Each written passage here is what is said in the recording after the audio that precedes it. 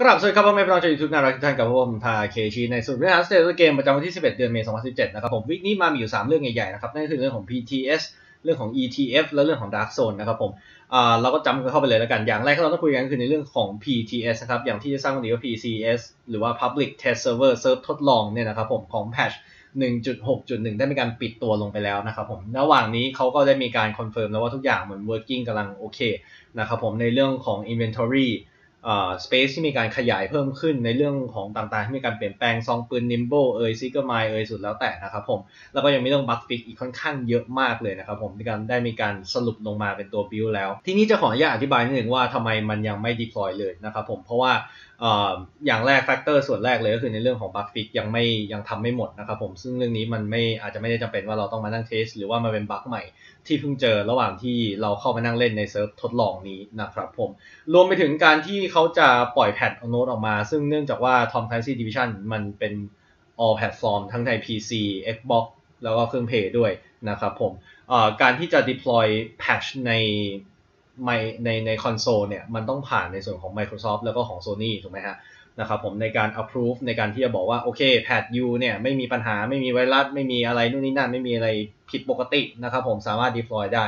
นะครับเช่นเดียวกันใน PC สำหรับคนที่ซื้อผ่าน Steam เขาก็ต้องมีการ authorize ผ่านตัว Steam เช่นเดียวกันกับของ Microsoft และ Sony นะครับผมเลยทำให้ patch 1.6.1 เนี่ยอาจจะต้องใช้เวลาอีกอาทิตย์ถึง 2 อาทิตย์นะครับผมในการที่จะ ปล่อยออกมาในเซิร์ฟเวอร์ live server หรือว่าเซิร์ฟเวอร์จริงที่เรานั่งเล่นกันอยู่นั่นเองนะครับผมอ่าก็ทนกันอีกนิดนึงครับผมในส่วนของ confirmation แน่นอนว่าวันยังไม่ออกนะครับผมแต่ว่าเราคอนเฟิร์มแล้วว่าภายในเดือนนี้แน่นอนก็คิดไว้ว่า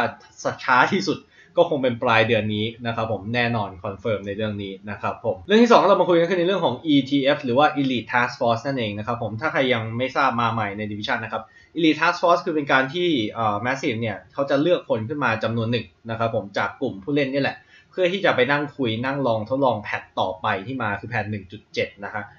เพื่อที่ได้มีการรับ feedback ว่าเป็นยังไงมีอะไรควรเปลี่ยนไหมเขาสามารถคุยกันได้เลยนะครับผมซึ่งเป็นอะไรที่ค่อนข้างใช้ process ค่อนข้างเยอะนิดนึงคือต้องกรอกแอปพลิเคชัน คนไทยเราเองก็ต้องขอวีซ่านะครับผมอะไรประมาณนั้นนั่นเองก็ได้มีการปิดใบสมัครลงไปเรียบร้อยแล้ว และได้มีการ send send send confirmation ออกไปแล้วนะครับผมหรือได้มีการส่งอีเมล ไปให้กับคนที่ได้รับคัดเลือกนะครับผมก็เช็คอีเมลกันด้วย ถ้าใครมีการสมัครเอาไว้ ถ้าไม่ได้อีเมลนะครับผม ก็แปลว่าเราไม่ได้รับคัดเลือกนะครับ ผมเขาบอกไว้เลยว่าคนที่ไม่ได้รับคัดเลือกจะไม่มีอีเมลส่งออกไป บอกว่าไม่ได้รับคัดเลือกนะครับ ผมอันนี้ย้ำกันนิดหนึ่งละกัน ซึ่งแน่นอนใน ETF รอบนี้เป็น ETF สำหรับแพท1.7 นะครับผมซึ่งเป็นแพทคอนเทนต์ดรอปใหญ่ที่กำลังจะมาด้วยนะครับผมก็มีหลายอย่างที่จะเกิดขึ้นครับผมอย่างแรกเลยก็คือในส่วนของ ETF ส่วนใหญ่แล้วเขาจะทำเป็นกลุ่มปิดปิด คือไม่ไม่มีการสื่อสารกันระหว่างโลกภายนอกกับคนที่ไป ทดสอบตัวเกมใหม่กับทางของ Developer นะครับผม แต่คราวนี้เขาจะมีการทดลองในการที่จะแบบทำเป็น survey ออกมา ระหว่างที่กลุ่มคนที่รับคัดเลือกไปอยู่ที่ UK นะครับในรอบนี้ เพื่อที่จะว่าจะได้รับ feedback จากคนที่อยู่ข้างนอกด้วยนะครับผมที่ไม่ได้เข้าไปอยู่ใน ETF หรือว่า Elite Task Force ในรอบนี้ เพื่อที่จะดึงเข้าไปเป็นการคุยกัน3 3คอส3ฝ่ายนะครับผมคือฝ่าย Developer ฝ่ายของ Elite Task Force แล้วก็จาก คนทั่วไปที่มี survey ที่ได้ทำ survey นะครับผมระหว่างที่ ETF กำลังเกิดขึ้นในรอบนี้นะครับผมก็คอยดูในกระทู้ของ Ubisoft ไว้แล้วกันครับผมว่าเดี๋ยวมันก็จะมีในส่วนของ survey ออกมาให้เราทำเรื่อยๆนะครับผม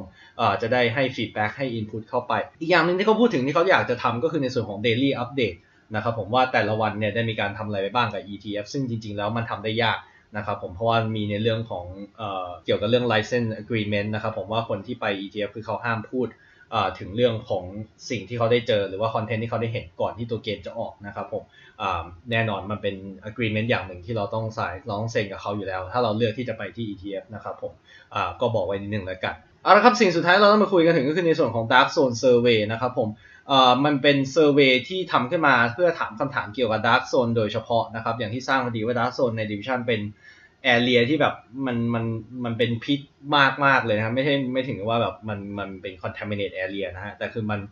เขาเรียกว่า socially toxic นะครับผมเข้าไปเจอแต่คนด่ากัน เจอแต่คนทะเลาะกันนะครับผมเขาก็ต้องการที่จะเริ่มมาหันมามองในเรื่องของ mechanic ของ dark zone แล้วนะครับผมอย่างที่ได้เขาเคยพูดไว้ประมาณแพทที่แล้วนะครับผมว่า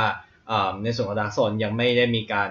ดูในเรื่องของการรีวิวว่าจะเปลี่ยน mechanic ยังไงนะครับผม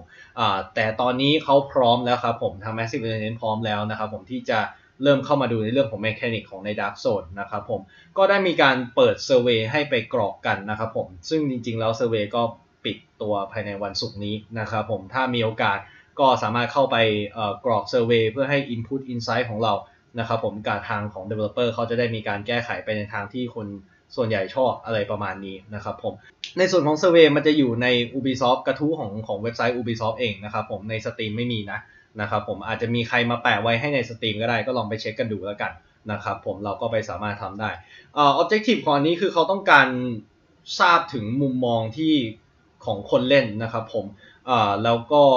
มุมมองของ Developer ว่าตอนนี้มันผิดพลาดกันขนาดไหน มันตรงกันไหมนะครับผมแล้วก็ในเรื่องของ Rogue Mechanic ด้วยว่า Objective ของมันเนี่ย work ไหมโอเคไหมนะครับผมเพื่อที่จะมีการอาจจะมีการแก้ไขกัน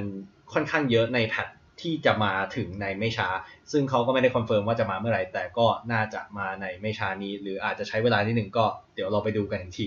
นะครับผมก็แค่นี้แหละ State of the Game นะครับผมในรอบนี้ก็ไม่มีอะไรมาก มันจะอยู่ในช่วงของ transition ระหว่างของ public test server หรือว่า server ทดลองกับการที่จะปล่อย patch ออกมาจริง ๆ นะครับผมใน 1.6.1 ในเซิร์ฟจริงนะครับผมก็จะไม่ค่อยมีรายละเอียดอะไรมากมายไก่กองก็มีอยู่ประมาณเท่านี้นะครับผมยังไงขอบพระคุณมากที่เข้ามารับชมในวันนี้นะครับผมกับผมทาเคชิยังไงเดี๋ยววันนี้เราลาไปก่อนในวันนี้สวัสดีครับ